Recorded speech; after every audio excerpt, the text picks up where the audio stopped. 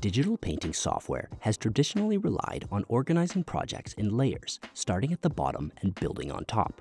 Though intuitive, this system can be inflexible at times and puts a limit on your creativity.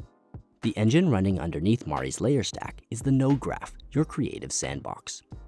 The Node Graph gives you the opportunity to find your own workflow and organize your project in a way that makes sense to you.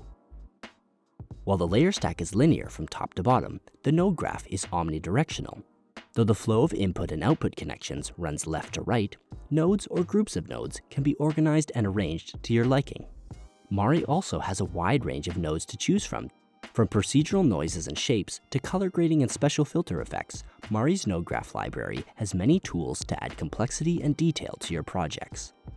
Elements in the node graph can be interwoven with the channels of your project or sit independently and disconnected from your main node stream, giving you opportunity to brainstorm ideas and iterate while working non-destructively.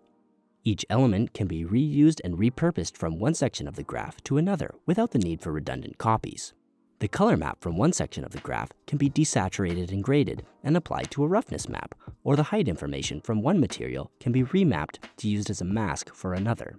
On top of that, Mari's powerful painting and projection system integrates seamlessly with all of your node graph projects. Mari's node graph gives you the power and flexibility you need to tackle any asset, no matter how complex.